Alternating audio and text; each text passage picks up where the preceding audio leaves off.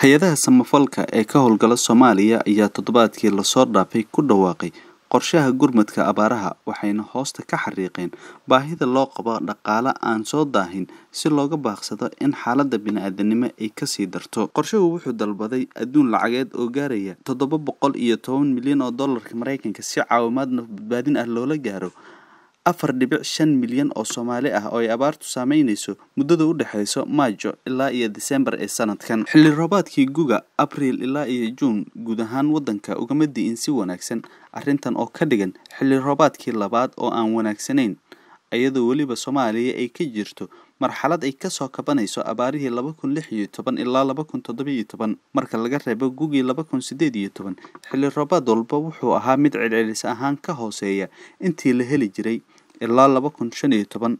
Roobyaridaas oo sababtay in dadku ay ka soo kaban waayaan dhibaatooyinkii gaaray. Roobkii guga ee laba kun sagaal iyo toban wuxuu noqday kii saddexaad ee ugu liita taariikhda soomaalida ilaa iyo horaantii sideetamaadkii arrintan waxay saameyn aan wanaagsanayn ku yeelatay dalagyada beeraha iyo taranka xoolaha. Tirada dadka ku sugan xaaladaha deg dega ah ee cunayarida waxaa laga cabsi qabaa in ay gaaraan laba dhibic laba milyan bisha luulyo. Tiradan waxa ay boqolkiiba afartan ka sarreysaa halkii ay joogtay bishii janaayo ee sanadkan. Nafaqadarrada cudurrada ka dhasha abaaraha iyo barakacyaasha ayaa cirka isku sii shareyraysa xaaladda abaarta ee soomaaliya waa mid ka sii daraysa waxayna u muuqataa in ay ka soo horumartay wakhtiyadii la arki jiray marka dib loo eego tobankii sano ee la soo dhaafay. Soomaaliya waxay ku sugan tahay xaalad adag haddii la helo dhaqaale ku filan waxaa dib loo howlgelin karaa.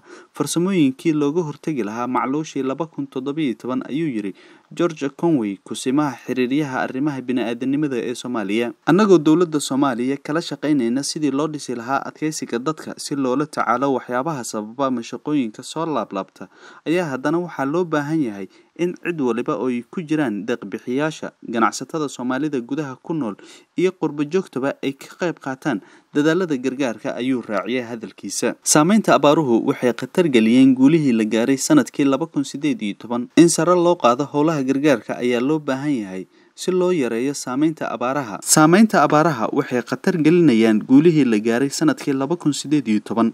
In sare loo qaado howlaha gargaarka ayaa loo baahan yahay si loo yareeyo saameynta abaaraha. Waxaa kale oo aan laga maarmin in gargaarka bini-aadanimada lagu kabo mashaariicda horumarinta iyadoo laga shaqaynayo hanaanka ka soo kabashada nugeylka ay dowladda soomaaliya hogaaminayso. Si soomaalidu ay awood ugu yeelato in ay duruufahan oo kale iska xajiso mustaqbalka. Dhaqaale yari ayaa xadidaysa awoodda hay'adaha samafalka ee ka jawaabi lahaa baahida jirta ee abaaraha. Howlo gargaar oo muhiim ah oo ay ka mid yihiin qeybaha biyaha caafimaadka nafaqada iyo caawinta dhanka cuntada ee ka socday dhulka ay abaaraha ku dhufteen qaarkiis ayaa hoos u sii dhacaya. Warbixintan oo lagu daabacay wakaalada wararka soomaaliyeed ee sona ayaa gebagabo waxaa looga dhigay. Magaalooyinka waxaa soo gelaya barakacayaal cusub qorshaha kafalcelinta baahiyaha bini-aadanimada h r b ee laba kun sagaal iyo toban oo dalbanaya adduun dhan hal dhibic sideed milyan oo dollar. Ilaa iyo hadda wuxuu helay boqolkiiba labaatan iyadoo weliba baahiyuhu ay sii kordhayaan. Nuure maxamed cali hon cable t v muqdisho